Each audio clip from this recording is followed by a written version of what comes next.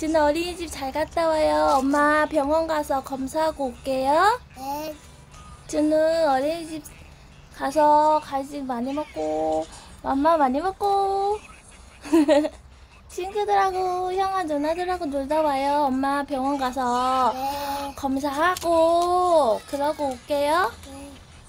네 엄마 잘 갔다 와요 우리. 어? 여기도.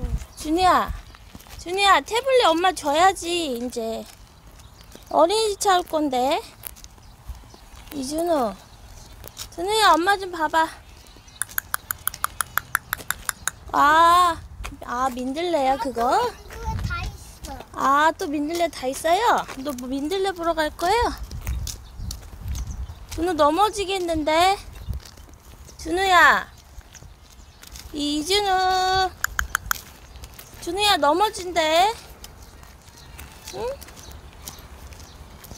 나 여기 가고 있어. 거기 왜 가? 거기 벌레 있어.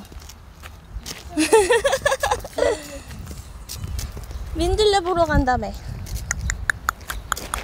여기 좀 보세요, 준우 씨. 준우 뒤로 가봐. 준우 뒤로 가봐. 나 기억은 아니 뭐예요? 준이야 이제 마스크 쓰고 태블릿 엄마 주세요.